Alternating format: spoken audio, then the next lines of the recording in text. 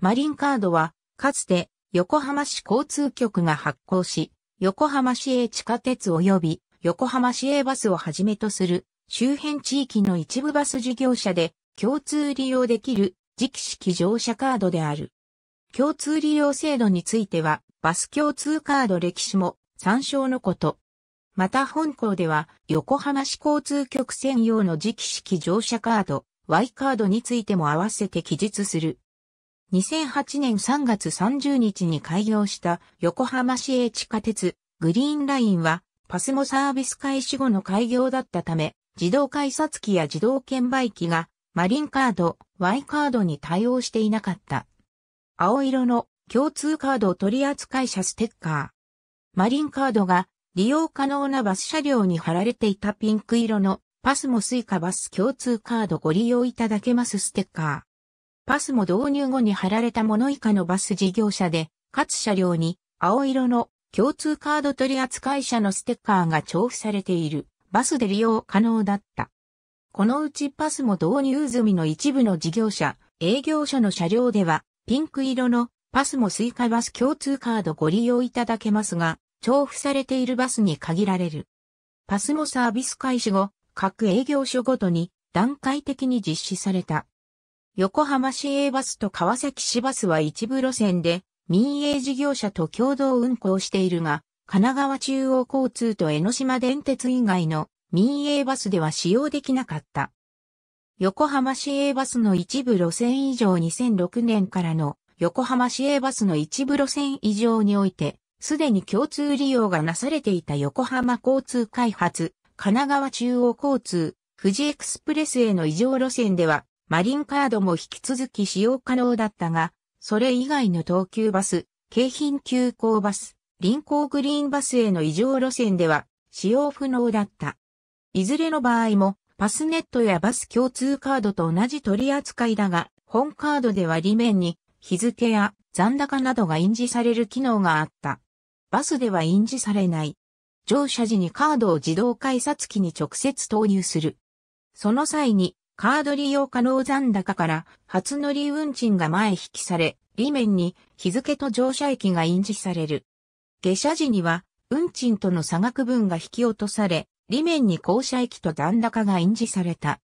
なお、初乗り運賃200円に満たない場合や小に割引運賃適用者、複数人が利用する場合はあらかじめ自動券売機で切符を購入することになる。なお、出場時に残額が引き去り運賃に満たないカードは、そのままでは出場できないため、各駅に設置されている自動生産機で生産する必要があった。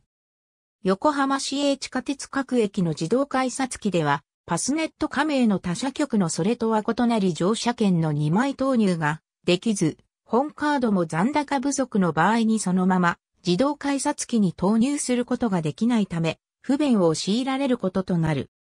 なお、2007年3月18日に IC カード、乗車券、パスモが導入され、それに先駆け自動改札機が更新されたが、パスモ及び相互利用ができるスイカの利用増加を見込んで2枚投入機能を導入していない。本カードとパスネットではシステムが異なり、併用できなかった。全線均一運賃の路線では、乗車時にカードをカードリーダーに通して利用する。小に割引運賃適用者、複数人が利用する場合には、カードを通す前に乗務員に申告しなければならない。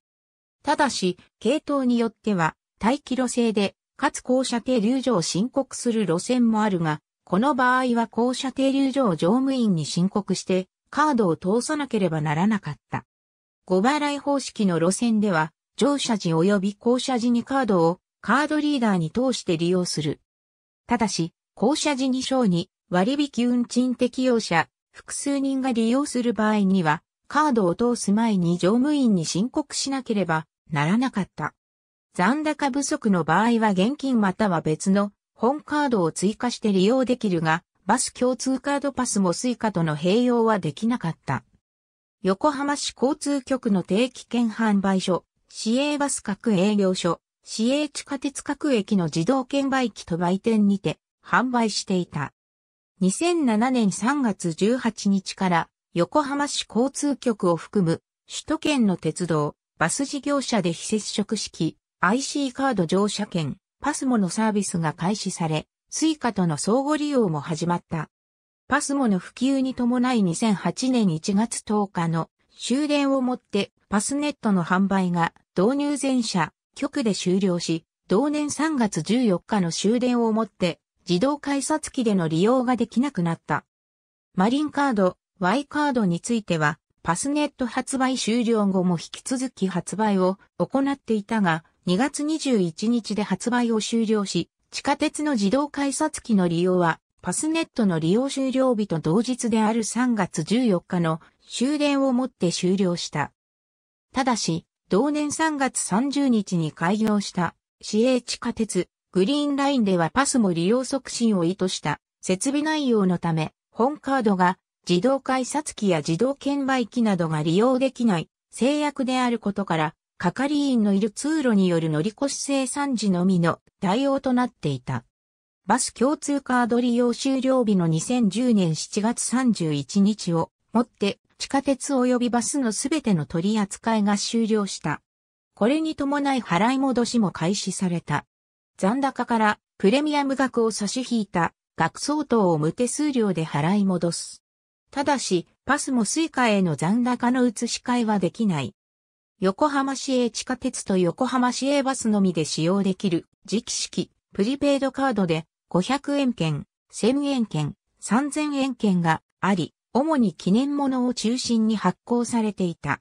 販売終了日及び使用停止日、払い戻し方法はマリンカードと同じである。ありがとうございます。